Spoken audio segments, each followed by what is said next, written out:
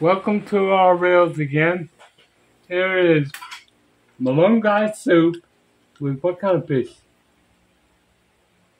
Don't know. We have all kinds of seafood here, so it's hard to keep up with all the different fish. This is ano, uh, pakbet. Ay, pakbet pe. Paksiw with kangkong. Kangkong direct from the farm. Yeah, like that. Yeah. Yan. With malunggay. Wow. Hi. That's Come on, let's eat.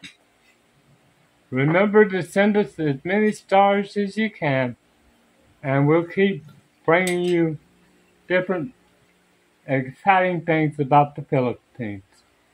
Thank you. Malunggay, very, very good for your health.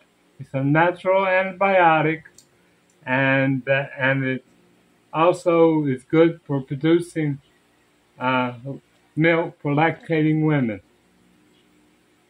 Um, a lot of benefits, and very high in fiber and vitamins and minerals, and antioxidants, which will help cure you of just about anything.